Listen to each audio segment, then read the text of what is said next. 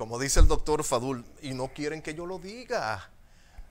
Ex cónsul años y años traficando drogas y cobrando del Estado Dominicano y nadie sospechó de los senadores que apoyan a Gonzalo Castillo en su precandidatura a la presidencia, que ustedes saben lo que se mueve.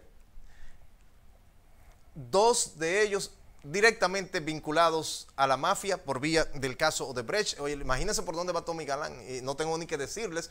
Y Rubén Jiménez Bichara, sindicado, señalado de manera directa por la propia mafia Odebrecht de haber recibido exactamente dinero sucio de la mafia, dinero de Odebrecht, tanto Gonzalo Castillo, el precandidato apoyado por el Palacio Nacional, lo cual tiene lógica porque desde donde operaba, señores y señores, la mafia Odebrecht, desde donde operaba el capo internacional de la mafia Joao Santana y su esposa Mónica Maura, desde el Palacio Nacional de la República Dominicana durante los gobiernos de Danilo Medina Sánchez, durante el primer gobierno. Hay que recordar que salió directamente del Palacio Nacional de la República Dominicana de ser el asistente asesor principal de campaña y de publicidad del presidente Danilo Medina Sánchez, montado en un avión extraditado hacia Brasil, a donde lo estaban esperando eh, directamente en la cárcel para la justicia de aquel país, someterlo por actividades de la mafia. Un capo, entonces es lógico que sea Gonzalo Castillo el precandidato de Odebrecht a la presidencia de la República Dominicana. No es que eso esté bien. ¿Cómo va a estar bien? Por amor de Dios.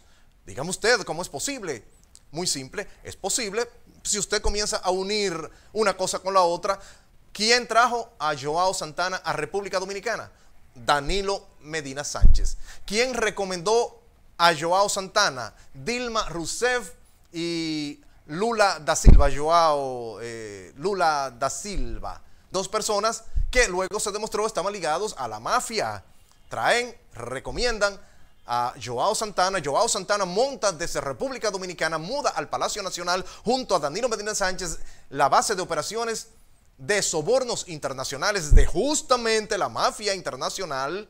Y ahora resulta que Odebrecht todavía dice a nivel internacional, en la justicia internacional, que pagó dinero a Gonzalo Castillo, actual precandidato a la presidencia, por el Partido de la Liberación Dominicana, representando clara y abiertamente los intereses de Danilo Medina Sánchez, el actual presidente, entonces señalado, como les digo, por Odebrecht, como una persona que recibió precisamente dinero sucio de la mafia Odebrecht y también su encargado Rubén, Jiménez Pichara, también señalado por Odebrecht de haber recibido sobornos en contra del Estado Dominicano.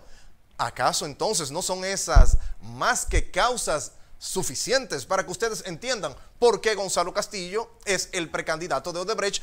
Todo, absolutamente todo, encaja perfectamente dentro de dicho esquema. ¿Que lo dije yo? No. Yo lo estoy repitiendo. Lo dijo Odebrecht.